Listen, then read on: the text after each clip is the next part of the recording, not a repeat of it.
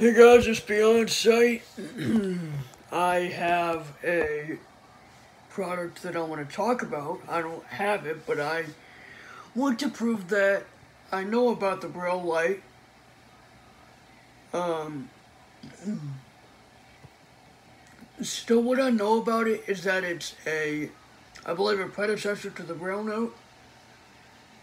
Uh, like a direct predecessor. It's basically a Braille 'n Speak, but with the added addition of a braille display, and uh, and it's a pretty cool product. I don't have one in hand, although I wish I did, because that would be so awesome. The only thing I do have that's relevant to it is the Braille Speak, which I reviewed almost a year ago. I went over about 40 something minutes going over the entire and Speak. I went over the file thing. I went over doing the, you know, the file. How to create a file and stuff.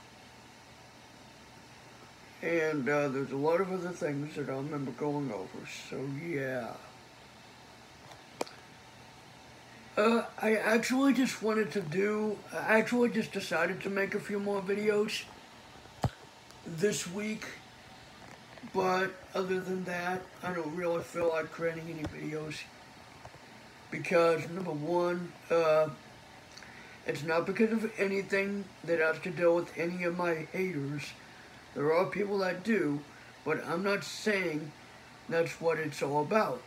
Now, don't you go down, uh, don't you go, don't you dare go down the road of, oh, he hates when we dislike his videos. No, that's not what it is. That's not why I'm taking a break.